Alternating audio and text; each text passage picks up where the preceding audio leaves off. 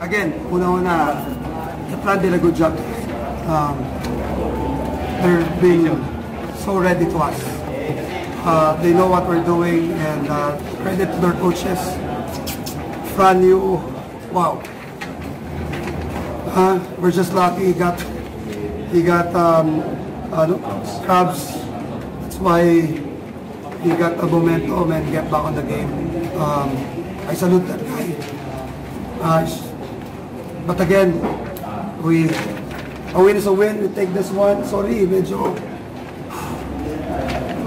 I we're I'm just relieved that we get over this game too, and uh, we won this one. Um, I, I salute my players also. They really want to prove something, and uh, that's what character is. We came, we had a loss. Everybody is all against us. But the players really doesn't want to lose it. So I credit to them. Nice comeback by Calvin.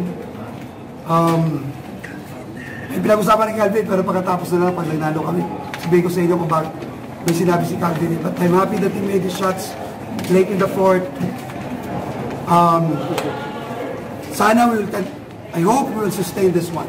Um, playing a tough team like Letran, uh, that will be hard for us. But again, I, I, I do thank my players, thank the Lord for this, for giving us a chance, another chance, another game to fight for, and uh, hopefully we can we can show them again what is uh, San Beda basketball will be on Tuesday.